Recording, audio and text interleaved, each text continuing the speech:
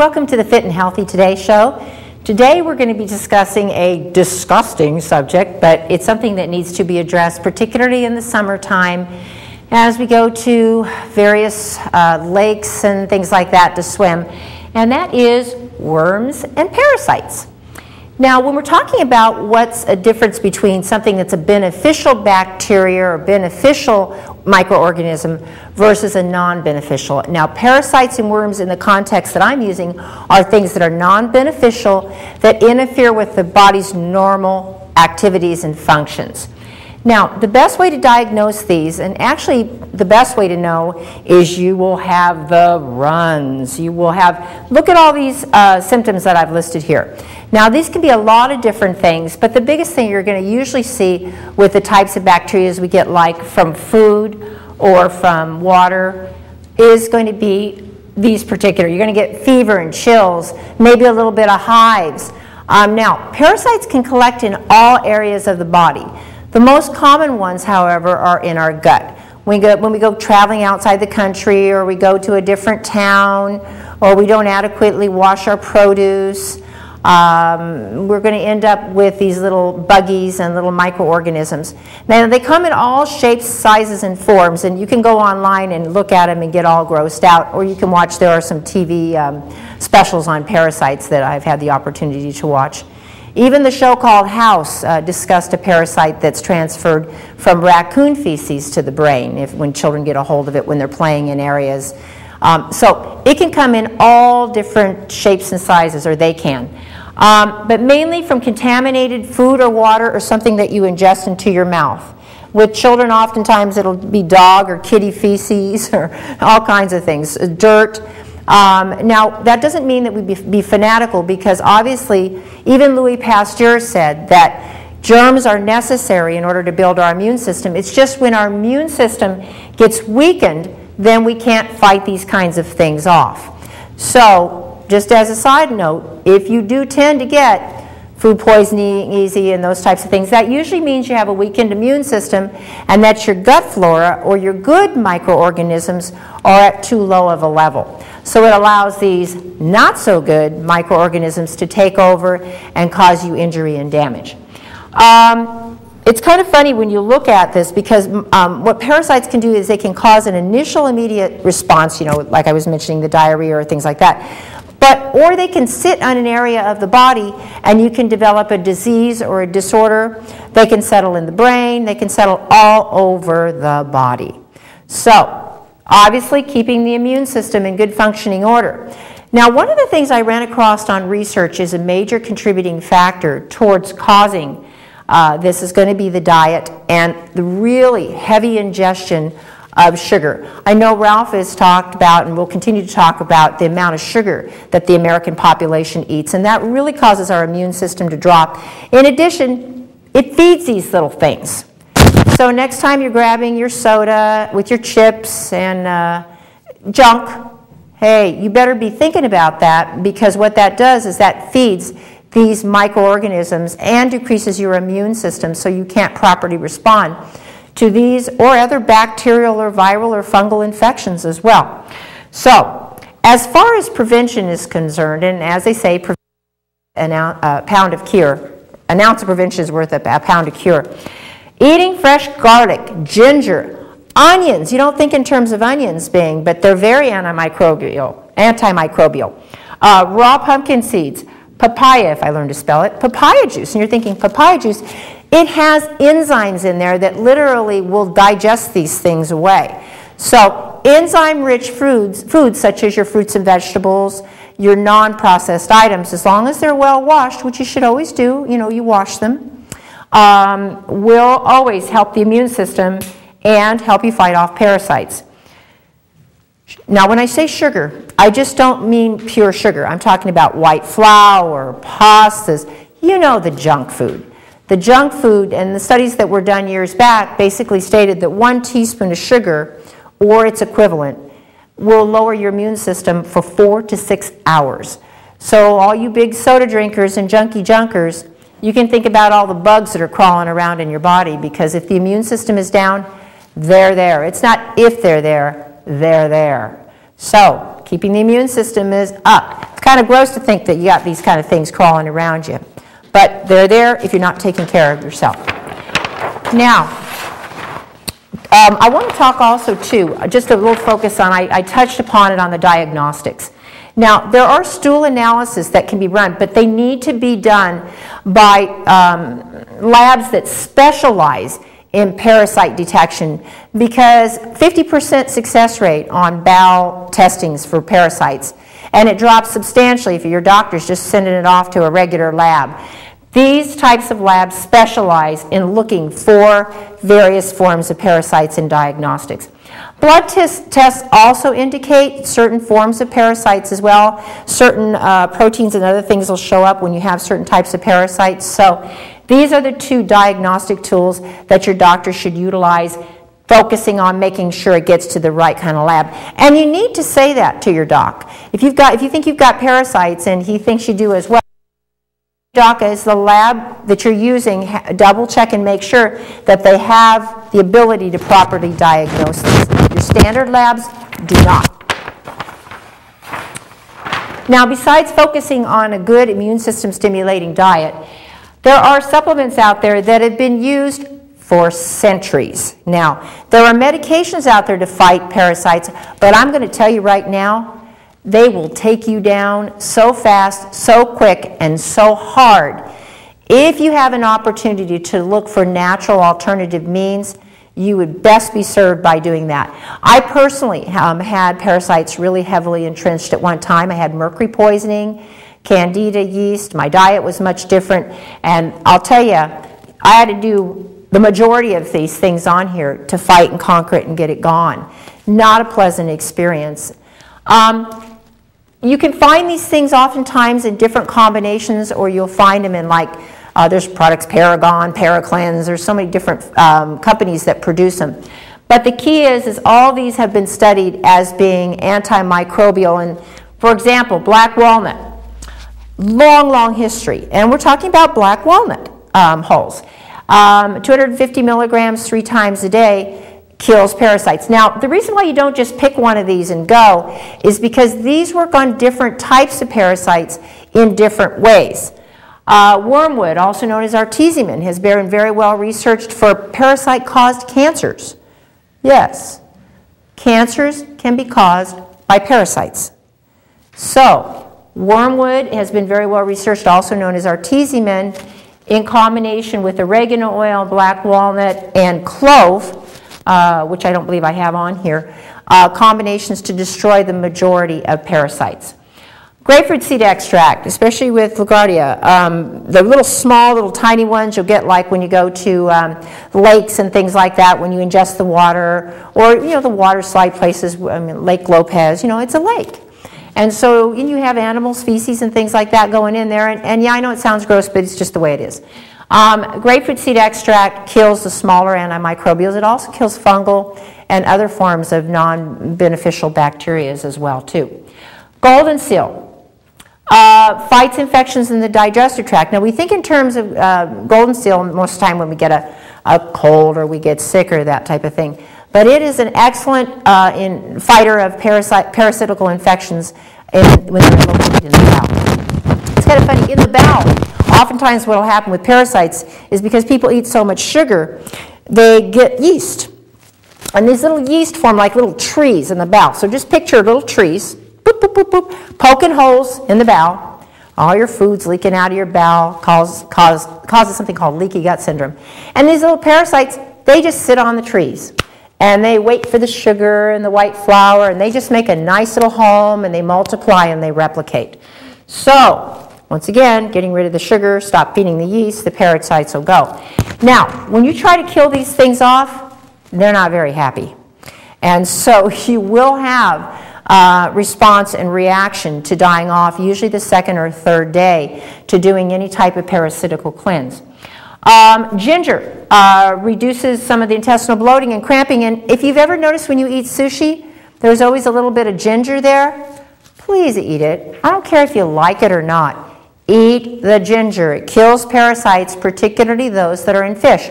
That's the reason why they put it there. It's not for taste. It's for, once again, the ounce of prevention. Um, peppermint can soothe it, also an antimicrobial. Now, when you do end up with particularly a bowel parasitical infection, it washes all your good bacteria and your good floras out because you're having diarrhea and everything gets flushed out. So once we kill them all off, we got to replenish the good bacteria so they don't come back. So these good bacteria, which are also known as probiotics, establish the bacterial layers in your feet and feet of bowel. And they, the immune system, the, your second brain is here, and they consist primarily of these bacteria. And believe it or not, we have substantially more, and I believe Ralph had cited 10 times more bacteria, 10 bacteria for every cell we have in our body. So these beneficial bacteria are vital. So when you wash them out or, or, destroy them with antibiotics, fluoride, all that wonderful stuff, uh, steroidals, certain other medications, what happens is, is your healthy cells, cells cannot stay healthy. These bacteria perform functions. And nobody should say, ah, just do a yogurt a day. Baloney. It would take you from the time Jesus was born in order to replace the amount of bacteria that you destroyed in one week of the amount of um, good bacteria that the antibiotic destroyed. So get a good high amount, 8 billion, so that would be equivalent to about 8,000 yogurts in just one pill. See my point? So it's very, very, very important that you get the good bacteria for recovery. Propolis, once again, in, in addition to grapefruit seed extract, fights Giardia. Um, which once again is waterborne, which you're going to see kind of in Mexico or when you go out hiking and you dip into the beautiful clean stream. Yummy, yummy. Now you take along some grapefruit seed extract, a couple of drops, it'll kill it off. There, once again, is a way to prevent a lot of this. There are homeopathic remedies that can help you expel worms, and they work with the body's own natural um, ability to expel and identify friend from foe. These work in conjunction with the body, not against the body, as, as standard medical care oftentimes does. Now, if our food was in mint condition and of the finest, best quality, um, 75 years ago, we probably wouldn't be having this discussion about these bottom things. But, and people's diet, they don't eat their eight servings of fruits and vegetables. Hey, I've already had six of them today, servings of fruits and vegetables, and I'm going to have a few more. The reason why is those cleansing fibers remove things out of the bowel. They keep things going so that you don't reabsorb those toxins back again and again, and your immune system drops. Good multiple vitamin, high in, I should say B vitamins and antioxidants, um, necessary nowadays because our food just doesn't cut it. Antioxidants, once again, help the body's immune system uh, recover uh, from the various um, environmental toxins and other things that we are exposed to on a daily basis. Ester C. Now, vitamin C, and doctors are going, I'm sorry, it is so well researched. C really bolsters the immune system and gives you a fighting chance. So, if you can just do these basic, a good multiple high in antioxidants, C, make sure you're eating a lot of organic fruits and vegetables. And I stress organic because the others are full of chemical pesticides and chemical fertilizers. And guess what? They don't wash off, no matter how much they say to you. So your immune system and your liver has to process all of these chemicals. So what do you think is going to happen to your immune system while it's trying to process all these chemicals? Especially if you're vitamin C deficient. The liver won't function in a proper fashion. So, um, hate to tell you, but you're going to probably have to do the majority of these or a combination so treatment of the parasites, recovery from the parasites, building the immune system. Washing your produce, eating right. That's the combination to keep these things away. And if you suspect you have them, go get the testing. If that doesn't show and you still have the symptoms, you can do these parasite cleanses. Hope that helps you. Sorry to be so gross today. Next, we're going to be moving on to the fitness portion of our show. Thank you very much.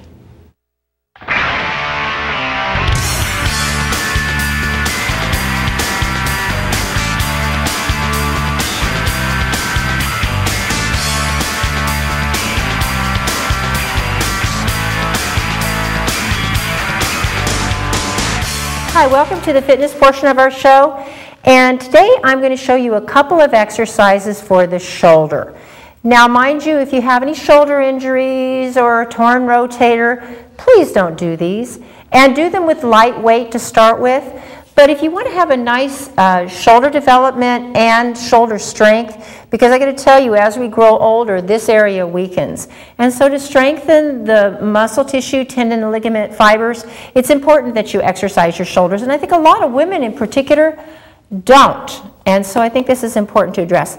First of all, I want you to make sure you find a good chair that has a good back that supports your back and a little bit of weight. Now these are 15s, so I don't want you to go out and buy some 15s, but go out maybe and, and uh, grab a, a couple of cans of food or two or three pound weight. You're going to have some back support here. And what we're going to do, these are called Arnold presses, after obviously our governor Arnold Schwarzenegger. What you do is you start with it in a frontal, and mind you now, my palms are towards my body, and then I gradually raise up and I turn it and then I bring it back down. And see if you can see my shoulder, it's completely involved with this motion, okay? Very safe because my back and my lower back are supported. And if you could try a couple of sets, that means mm, um, how many different, um, like 12 repetitions would be considered a set. A couple of times a week, that would help tone. Now we also want to work on the front girdle, uh, the front portion of the shoulder, and that is going to take a stand-up mode. I don't usually suggest doing this seated. So you stand up with relatively lighter weight, and you can do this exercise in a couple of different ways, um, and it works the shoulders slightly different. But you're going to raise them. Do not raise them at the same time, otherwise you're going to throw your back forward, and we don't want to throw out the back. And we don't want a super heavy weight when we're doing this exercise. So you can do it with your palms down, or you can turn the weight this way, and you can do it with your palms towards each other. Okay? And probably about uh, two sets of 12 repetitions a couple of times a week in conjunction with the overhead will help you strengthen your shoulder. Next, we're going to be moving on to the wonderful research portion of our show. Thank you.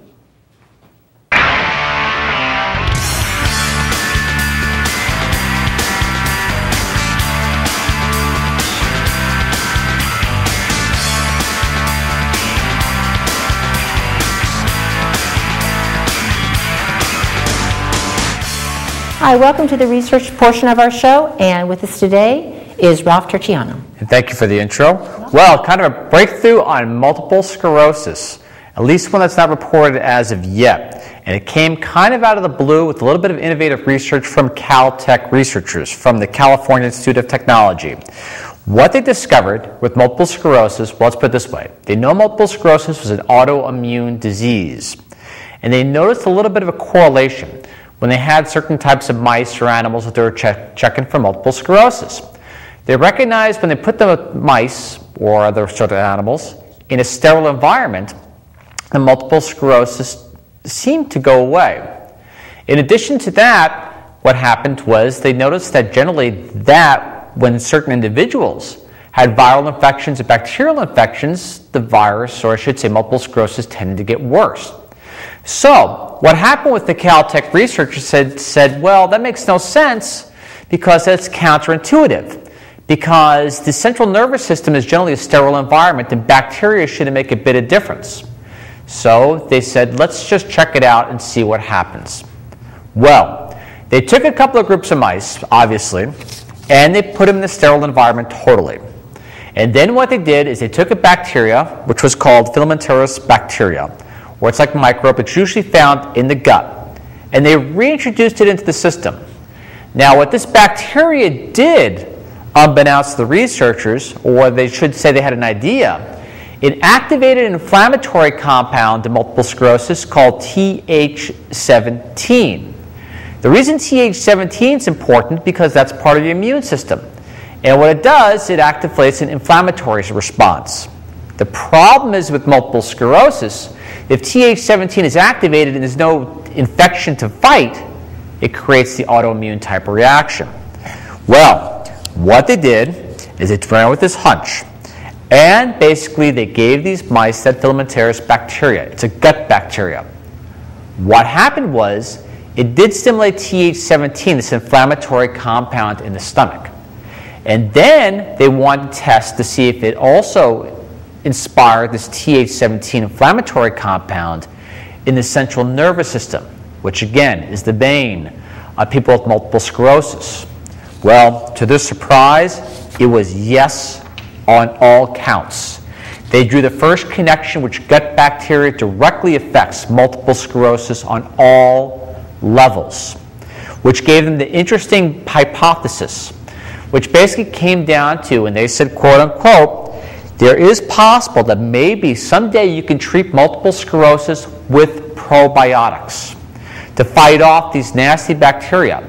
And saying quote unquote, to give them credit for the research, as we live cleaner, we're not just changing our exposure to infectious agents, but we're changing our relationship with the entire micro, uh, microbial world, can't pronounce it today, both around and inside us. And we may be altering the balance between pro and anti inflammatory bacteria, the lead, the lead researchers from Caltech said. Perhaps treatments of diseases such as multiple sclerosis may someday include probiotic bacteria that can restore normal immune function in the gut and the brain. Very interesting research, something to start considering and looking at since probiotics tend to be fairly innocuous or not have any nasty side effects to them. I hope they pursue this research. It's really cool. And multiple sclerosis at one time was a rare event now it seems like we all know, know someone with MS or has come down with MS. Wouldn't be so cool if it's just something so incredibly simple? Well, let's see. All right. Now, what does, let's see, blueberries, green tea, some amino acids, and carnosine have in common? Well, they form this compound called NT 020. This is from the University of South Florida. Now, what does NT020 do? Well, it creates a proliferation blah, uh, proliferation of stem cells in the brain, in the neurological system, in the bone, and other organs. Why is that important?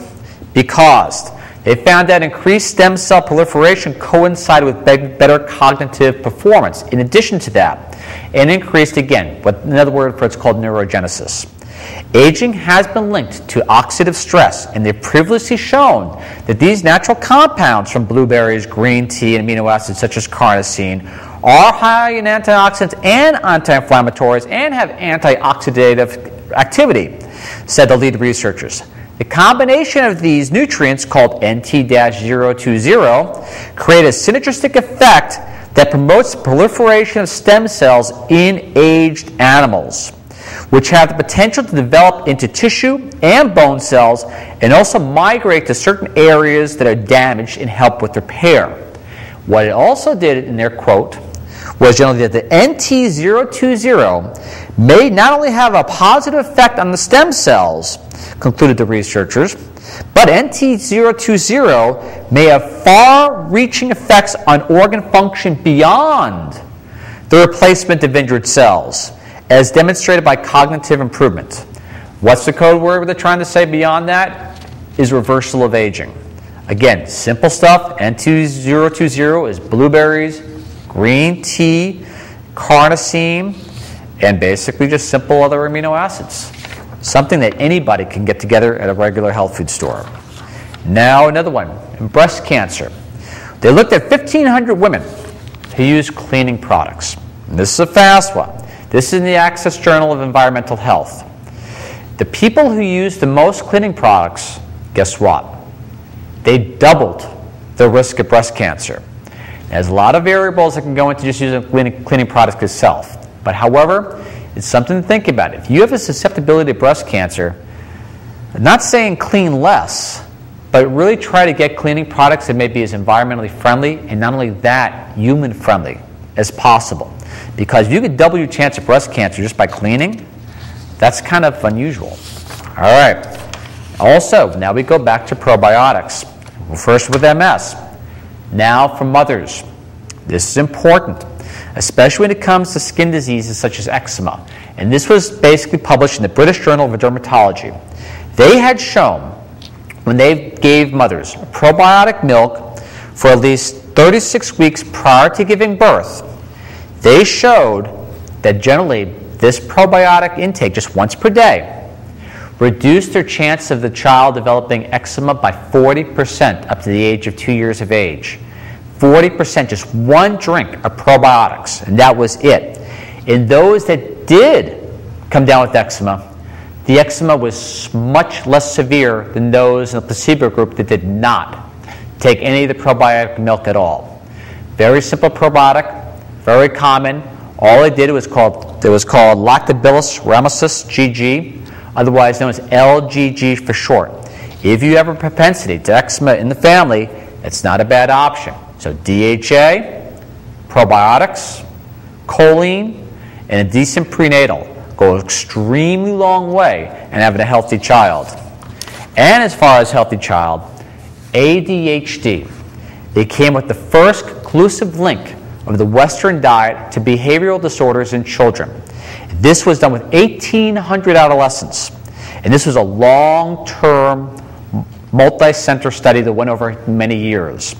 What they looked at, and this was done from Perth Telethon Institute for Child Health, they found out that the Western diet, let's back that up. What's a Western diet and a healthy diet? A healthy diet to the researchers was one that contained fruits and vegetables, whole grains, and fish. Talking whole grains. Not the little grain they throw in this junk cereal and tell you, oh, look, we have three grams of fiber in our sugar cereal. I'm not going to mention any brand names. Compared to the Western diet, which was generally confectionery food, processed foods, and the like. Guess what? The Western diet was shown significantly, without a doubt, to contribute to ADHD. In fact, it doubled the risk of a child getting ADHD. This was a well done, well orchestrated study over many children.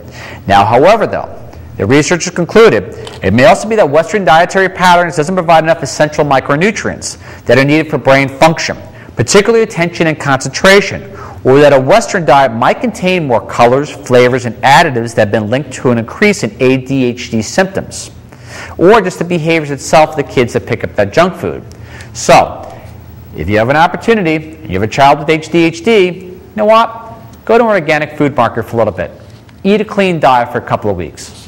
What the heck? Beats a lifetime worth of medication. And to end it real fast, basically, watch your medications. They're adding a genetically modified sugar to a lot of the anti inflammatories. It's not found in humans.